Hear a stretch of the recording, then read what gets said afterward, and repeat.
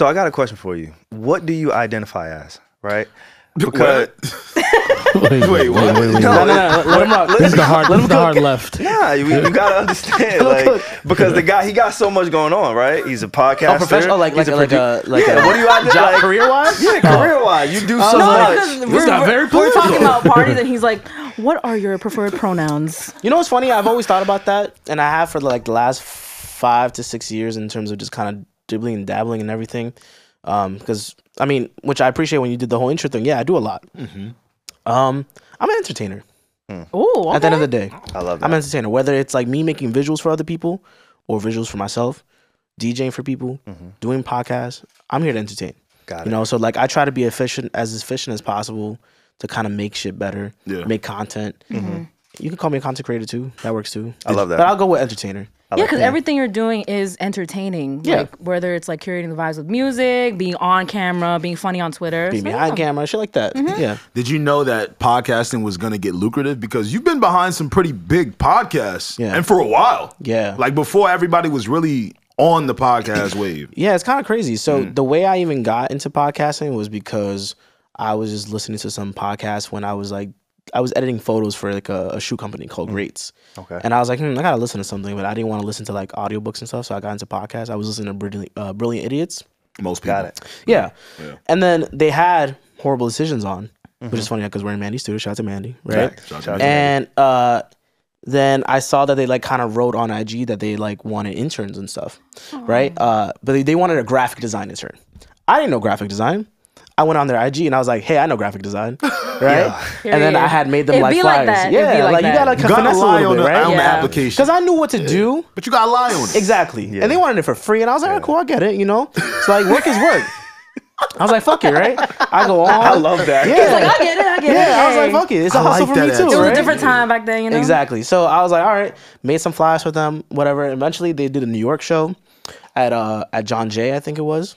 Yeah, John Jay. That's where I met Alex, who did Flagrant. I got to lock in with them. Alexx Media. Yeah, Alex we got Media. Shout out Alex to on Alex our Media. pod. Yeah, Hey, exactly. shout out to all the Alexes in the space. Right? hey. So met Alex. Yeah. uh, we linked up and whatever. And then like the sad part of the story is that for where I kind of came in even more so was when he actually got locked up in Sweden. Which is crazy. Oh, Yeah. It was I just do some fuck shit that. that. happened in Sweden. I- I remember that. Yeah, it was like some dumb shit. Damn. So Andrew remembers seeing me when I was there, and he was like, "Hey, can you like hold this down?" I was like, "Sure." Andrew Schulz. Andrew Schulz, yeah, Got it. And then Yeah. I, I did that show, Flagrant Two, for three, four years, Mhm. two, three, four Wow. years, yeah. Yeah, and, yeah, sa- and then at the same time, I hopped on to Brilliant Idiots as well. Mhm. So the same show I started listening to for a podcast Mhm. is the show I was working with Yeah.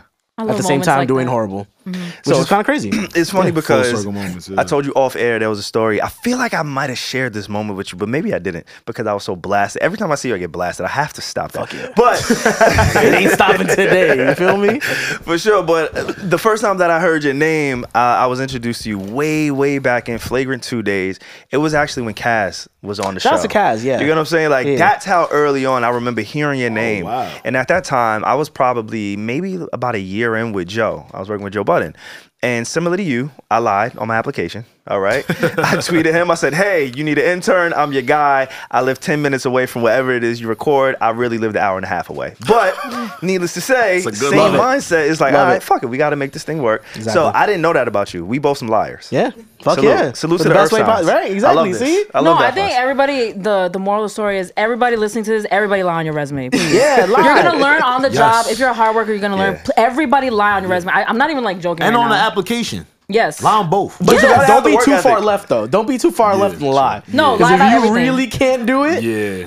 You're gonna get it. exposed yeah, early. you're gonna get exposed. No, no, no. Yeah. Because I feel like y- if you got the job, even if you lied, I feel like you were meant to get the job. So just lie. Everybody, don't listen. Work it out. Lie. Okay, okay. Start, make, start looking at all the YouTube videos to fix everything Yes. up, like That's the thing. ASAP. We have YouTube now. Yeah, we got we got YouTube University. Like you can look every single thing excuses. up for real. So you started uh, Flagrant Two. You started with Andrew Schulz. You started Yeah. with Alex. Uh, then you went to Brilliant Idiots, and then I know you did Whoreible Decisions for a little bit. Yeah. Like, tell me how that was for you, that experience, what you learned there. Obviously, you're a little bit, you're, you're further along now. Yeah. Um, but yeah, how was it working with that collective of people? Man, I mean, with Flagrant 2, we would be in Engine Room, which was by uh what is it, Wall Street. Yeah, I've been over there Street. for some, like, music yeah, sessions. Yeah, people will usually Big do it mu- exactly right. So that you do music sessions or whatever. It's a small place. All the way in the back, they had a room rented. Lou- Loudspeakers that were uh, had a room rented. Okay. Got it. We do that. We'd set up every time because it'd be different podcasts doing stuff there too from that same network.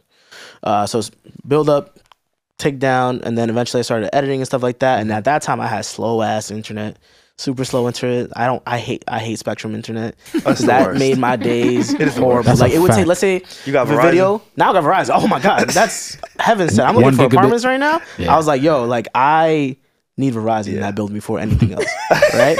So we did that. So like a video would take like three hours to upload, and it was like an hour video. Like that's how Those bad it was, days, and I hated that. Yeah. Doing all that. Uh, so I'd work in Brilliant as well. Do the same thing. Set up cameras and stuff because we tape over at uh, the iHeart uh, Media building, right? Set them up, bring them down, bring them back. You know, and carry a whole big ass suitcase everywhere. Whoreible is kind of the same thing, but I really more so was kind of doing audio for Whoreible, and things were already set up there in that in that spot for that, so that was kind of a blessing at the same time. But I do like every once in a while like editing and stuff like that. Got it. Compare that to now, I mean, shit. Thankfully, uh, Weezy and Alex opened up a studio after the pandemic, uh, WTF Media Studios, right? Yeah. And that place is dope. And I was there with them, like building that shit with my hands with them, the first studio that they did, and that was a lot. You know that that kind of humbled me in the sense is like, yo, this is like literally. You just see so many podcasts Yeah. you see a lot of podcasts and like just people just figuring out their own concepts, how to like. Because thankfully, I was working with like the big po- big podcast at that time, Off rip, right? sure, Off rip, which is great. Off Rip is crazy. And then you can just kind of get to learn like little gist in terms of like producing. That like that's a big thing. You can come on here and just talk and that's it. But obviously, you guys got things organized. You got your group chat. Figure out what the topics are. She got clips. You know that we're about to find out about later. You know, um, you know, Gonna set it uh, and then uh, it's just a lot. It's just a lot. Yeah, yeah, A lot that Um, goes into it. Exactly. Yeah. And then working with these guys, you know, the biggest thing I get from Warrior Mall is creative liberty. You know, like we kind of all like hear each other's ideas, and if it doesn't mm-hmm. work, it doesn't work. But we always give each other like a second to make sure we like give it a chance. Yeah. And if it works, it works. If it doesn't, it doesn't. And that's great. And it's like a double edged sword at the same time. Yeah, yeah, yeah. Because you got to try everything you can, For sure. especially when it's like a topic. Like if it's, there's always played out topics. Yeah. Like how long are we gonna hear about Drake in like a span of two weeks? you got to figure out different angles. I was just telling y'all about that. Different angles on it, right? How many times y'all talked about Drake in the last two, three weeks? oh Uh, man, every week. Shout, Yeah. out, shout out to our SEO yeah, on you know what I'm YouTube. Hey. Yeah, and it works out. And we It never works gonna out. stop. Let's Exactly, do it. right? Yo, Drake, drop one of them albums again, my nigga. See, Again. we need that. And it So we helps can talk out. about It's great. It do, it's it just do. it gets it's it gets stale. It Yeah. can get Yeah. stale For like, sure. Personally, it can get stale.